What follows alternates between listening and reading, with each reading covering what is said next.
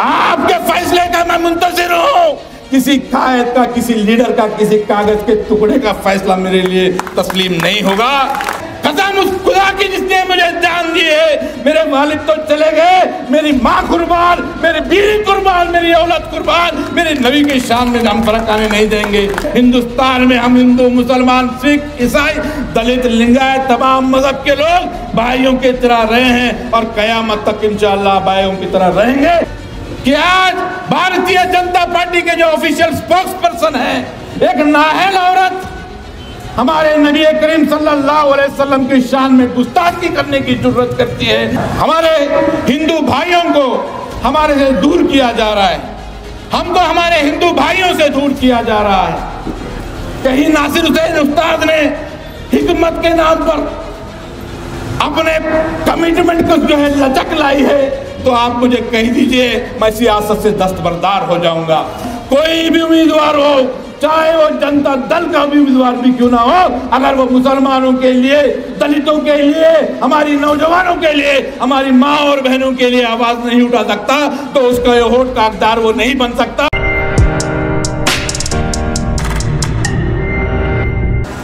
आवाम से सिर्फ़ इतना कहना चाहता हूँ कि आज से चार साल पहले मैं समझता हूँ कि मेरी सियासी तकरीर, सियासी प्रोग्राम अगर हुआ था तो वो मुस्लिम चौक पे हुआ। मेरे इलेक्शन के कैंपेन का आखिरी दिन, उसके बाद जितने भी हमारे प्रोग्राम्स हुए एहतजाजी प्रोग्राम्स में, कॉरपोरेशन इलेक्शन में कुमार स्वामी साहब के साथ में एक दो दिन बात हुई। चार साल के बाद आज प्रोग्राम था, मगर अफसोस, वक्त नहीं है बात करने के लिए। मैं आपसे इतना कहना चाहता हूँ कि आज जितने भी लोग यहाँ पर इस डैश पर अपने ख्यालात का इजहार किया है, ये डैश अपने तकरीर करने का प्लेटफॉर्म नहीं है। ये तकरीर लफाजी करने का प्लेटफॉर्म नहीं है।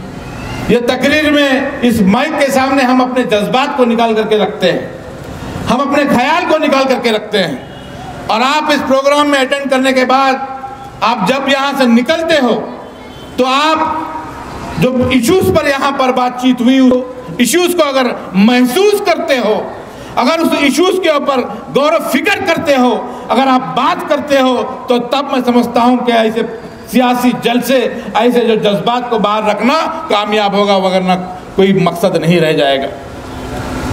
आज कौम के सामने जो सबसे बड़ा सवाल है, वो सवाल इक्तदार का नहीं है, कुर्सी का नहीं है। आज इक्तदार में कौन है, कैसा है, क्या करने वाला है, वो नहीं है। आज सबसे बड़ा सवाल हमारे बीच ये है कि आज कौम को बांटा जा रहा है, कौम को तोड़ा जा रहा है। हमारी गंगा जमनी तहजीब को बिगाड़ा जा रहा है। हमारे हिंदू भाइयों को हमारे से दूर किया जा रहा है। हमको हमारे हिंदू भाइयों से दूर किया जा रहा है। आज भारतीय जनता पार्टी इकतदार में रहने से हमें एक अफसोस नहीं है कि वो मुसलमानों को फंड कम दे रही है। हमारे माइनॉरिटी के लोन्स को जो है डिडक्ट किया जा रहा है। पीएचडी के स्टूडेंट्स को 10 करोड़ लोन कम किया गया। अफसोस है, मगर अफसोस सबसे बड़ा ये नहीं कि हमें डेवलपमेंट के लोग रोका जा रहा है। हमें अफसोस इस बात का है कि भारतीय जनता पार्टी एक जहनीत दे रही है। हम पे सवाल उठाया गया। हमारी पहचान का सवाल उठाया गया। एनआरसी के ज़रिए शरीयत में मुजाकलत की गई। ट्रिपल तलाक को लेकर के हमारी बहनों के मामले पे हिजाब के ऊपर हमको सवाल पूछा जाता है। हमारे दरगाहों के बारे में सवाल पूछा जाता है। हमारे इबादत घरों के बारे में सवाल पूछा जाता है।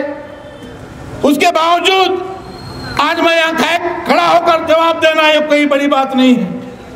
आज सबसे ज़्यादा तकलीफ़ इस बात की है कि आज भारतीय जनता पार्टी के जो ऑफिशियल स्पोक्स पर्सन है, एक नाहल औरत हमारे नबी करीम सल्लल्लाहु अलैहि वसल्लम की शान में गुस्ताखी करने की ज़रूरत करती है। इस हद तक ये लोग बढ़ गए हैं। इस हद तक बढ़ गए हैं। कसम उस खुदा की जिसने मुझे जान दी है, मेरे वालिद तो चले गए। मेरी माँ कुर्बान, मेरी बीवी कुर्बान, मेरी औलत कुर्बान, मेरे नबी की शान में हम फ़र्क आने नहीं देंगे। मगर भारतीय जनता पार्टी ऐसी जो खिलौनी साजिश कर रही है, हमारे मुँह में भी जबान है, आपकी भी मुँह में जबान है। कहाँ तक ये लोग लेके आए हैं? क्या सियासी मंजर हमारे सामने है? आज इन तमाम इश्यूज़ पर हमारे हिंदू भाई हमारे साथ मजबूती से खड़े हैं। ये हिंदुस्तान की शान है। आनंद पाटिल आए हैं। हमारे जो है स्वामी जी यहाँ पर आए हैं। आज इन तमाम इश्यूज़ पर एनआरसी का इशू हो, तमाम इश्यूज़ हो, चाहे हिजाब का इशू हो, कोई नाहिल कहता है कि मुसलमानों से तजारत ना करे पॉम्पलेट्स बांटे जाते हैं, कौन आवाज़ उठा रहा है? फ़िक्र कीजिए गौर कीजिए। आज हम देखते हैं राज्यसभा के अंदर एक तीसरी सीट जीती गई। भारतीय जनता पार्टी की तीसरी राज्यसभा की सीट इसको जिताने में सबसे बड़ा किरदार किसका था? कांग्रेस पार्टी का किरदार इसमें सबसे अहम। है मुझे वक्त बहुत बहुत से चीज़ों को बात करना है। मैं आपके बीच में सिर्फ़ इतनी फ़िक्र देना चाहता हूँ। इन मसाइल पर हमारे वोट ले, लेने के लिए सबसे ज़्यादा बढ़ चढ़ कर आगे आने वाले लोग जब हम पे अटैक किया जाता है जब हमसे सवाल पूछा जाता है तो ये अपनी खामोशी जो है लब को हला नहीं सकते। क्या ऐसे लोगों को हमारे वोट देना चाहिए? ये सिर्फ़ गुलबर्गा नॉर्थ का मामला नहीं। मैं सिर्फ़ गुलबर्गा नॉर्थ में नहीं कह रहा हूँ, आज के इस प्लेटफॉर्म से, मुस्लिम चौक के इस प्लेटफॉर्म से मैं कहना चाहता हूँ, कोई भी उम्मीदवार हो, चाहे वो जनता दल का भी उम्मीदवार भी क्यों ना हो, अगर वो मुसलमानों के लिए, दलितों के लिए, हमारी नौजवानों के लिए, हमारी माँ और बहनों के लिए आवाज़ नहीं उठा सकता तो उसका ये वोट का हकदार वो नहीं बन सकता। मुसलमान भी वोट ना दे, कांग्रेस का चाहे कितना भी बड़ा खाया दो, जनता दल का भी कितना भी बड़ा लीडर हो। आज हम फकर के साथ इस प्लेटफॉर्म पे खड़े होकर ये कह सकते हैं कि हमारा लीडर कुमार स्वामी इन तमाम इश्यूज़ पर सबसे पहले भारतीय जनता पार्टी की मुखालिफत करने वाली वो ताकत है कि नहीं है? कांग्रेस वालों में हमारे हिंदू भाइयों को शर्मिंदा कर दिया है। कैसे शर्मिंदा कर दिया है? हमारे हिंदू भाइयों को ये महसूस हो गया है कि अगर आप मुसलमानों के ताइज में बात करोगे तो हिंदू वोट नहीं आएँगे। ऐसा नहीं है। हिंदुस्तान में हम हिंदू, मुसलमान, सिख, ईसाई, दलित, लिंगायत, तमाम मज़हब के लोग भाइयों की तरह रहे हैं और कयामत तक इंशाल्लाह भाइयों की तरह रहेंगे। इस भाईचारे को शक करने वाली ताकत अगर कोई है तो वो कांग्रेस पार्टी के डी के शिव कुमार है। सिद्धरामैया है, यहाँ की क़यादत के मामले में मैं कुछ कहना नहीं चाहता, बस इतना कहना चाहता हूँ। दो बार मैं आपके बीच में आया। दो बार मुझे शिकस्त हुई। अगर आपको किसी को यह महसूस होता है, दो बार शिकस्त खाने के बाद किसी मसाइल में नासिर हुसैन उस्ताद के आँख में अगर डर और खौफ नज़र आता है, कहीं नासिर हुसैन उस्ताद ने हिकमत के नाम पर अपने कमिटमेंट को जो है लचक लाई है तो आप मुझे कह दीजिए, मैं सियासत से दस्तबरदार हो जाऊँगा। दस्तबरदार हो जाऊँगा सियासत से। आज ये इलेक्शन नासिर हुसैन उस्ताद का नहीं होना चाहिए। कोई नहीं है नासिर हुसैन उस्ताद की कोई ताकत नहीं। आज कोई आएगा सियासी जमात, जो फैसला लेगी, जो टिकट देगी, क्या हुआ? पिछली बार हफ्तुमस का एक प्रोग्राम हुआ। एक बड़े राज्यसभा के मेंबर आए उन्होंने ऐलान कर दिया कि जो भी फैसला होगा, कांग्रेस जिसको भी बी फॉर्म देगी, हम कौम उनका साथ है। किसको बी फॉर्म देती है कांग्रेस? किसको बी फॉर्म देती है जनता दल सेकुलर ये अहम चीज़ नहीं है। अहम चीज़ ये है कि आप अपने कायद का इंतखाब कीजिए। आप फैसला कीजिए कि आपके साथ खड़े होने वाला कौन है। किसको तकवीत मिलनी चाहिए? आप फैसला दीजिए। आप अगर बोलेंगे कि नासिर हुसैन उस्ताद, आप इलेक्शन में मत खड़े रहिए तो कसम की कसम है, मैं नहीं खड़ा रहूँगा। आपके फैसले का मैं मुंतजर हूँ। किसी कायद का, किसी लीडर का, किसी कागज़ के टुकड़े का फैसला मेरे लिए तस्लीम नहीं होगा। मैं आपके लिए कहता हूँ, आज अड़ंग का मामला हुआ, एक छोटी सी बात करके मैं खत्म करूँगा। पहले बेल हुआ, बेल के बाद हमारे खवातीनों का बेल रिजेक्ट हुआ। बेंगलुरु से कोई एडवोकेट आए। उसके बाद माहौल बन गया कि 100 लोगों का बेल रिजेक्ट होने वाला है। मजर एडवोकेट साहब और मैं, बात हुई, क्या करना मजर भाई, क्या होने वाला है? 99 परसेंट चांसेस हैं कि रिजेक्ट हो जाएगा बेल क्या होगा? बेल रिजेक्ट होगा। तो मैं बोला, जाकिर भैया क्या बोलने वाले हैं? बड़े भाई साहब का क्या राय है? हमारे बड़े भाई साहब की राय ये थी कि अगर ये बेल होगा तो मुझसे ही होगा, वरना किसी और से नहीं होगा। ये फैसला लेकर के वो जो है, कोर्ट के अंदर बहस करते हैं और अल्हम्दुलिल्लाह, बेल ग्रांट होती है।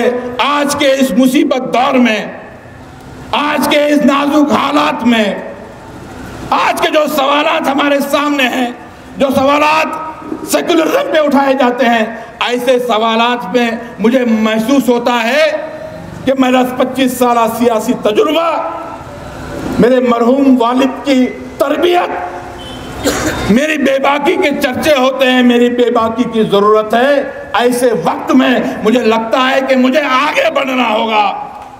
मैं किसी के फैसले का इंतज़ार नहीं करना, इसी हिम्मत के साथ इसी जुर्रत के साथ आपके सबके बीच में मैं अपने आप को पेश करता हूँ। आप लोग फैसला कीजिए, ये आगे आने वाले एक साल एक साल पहले मैं आपसे बीच में आया हूँ, सिर्फ़ इतना कहने के लिए कि वक्त आसान नहीं है। आज ज़रूरत इस बात की है कि हमको इतिहाद साबित करना है। गुलबर्गा शहर उस इतिहाद को साबित करने की एक तारीख रही। यहाँ से जो भी जीत के जाता है, हिंदुस्तान के सतह पे अपने आप की पहचान बनाता है। इतिहाद खौफ से नहीं, इतिहाद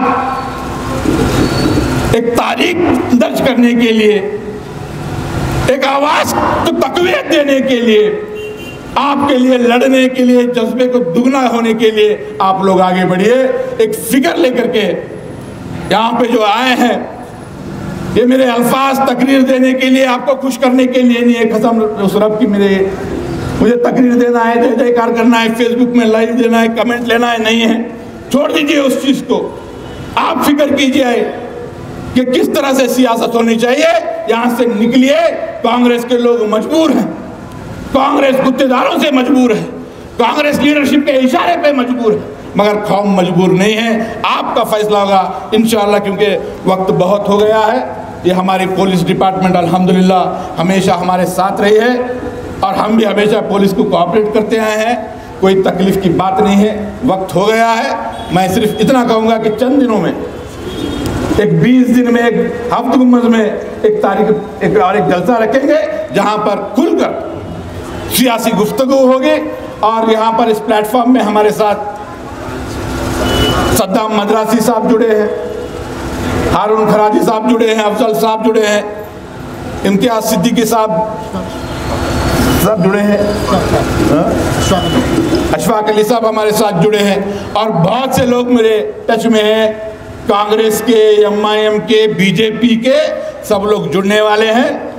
मैं उनसे भी माजरत चाहता हूँ क्योंकि मैं उनको इंटीमेट नहीं किया, क्योंकि प्रोग्राम हो रहे हैं, डेढ़ सौ लोग, दो सौ लोग, चार सौ लोग ज्वाइनिंग बंद करके हमारे स्वामी जी यहाँ पर आए हैं, हमारे सैयद बाबर मुस्तफ़ा साहब हमारे सीनियर वाइस प्रेसिडेंट हैं। मैं उनसे कभी माजरत चाहता हूँ क्योंकि बात करने का वक्त नहीं है। एक शेर कह के मैं अपनी बात ख़त्म करूँगा। फ़र्द कायम है रब्त मिलत से। फ़र्द कायम है रब्त मिलत से, तनहा कुछ नहीं। फ़र्द कायम है रब्त मिलत से, तनहा कुछ नहीं। मौज दरिया में है बहरूने दरिया कुछ नहीं। शुक्रिया।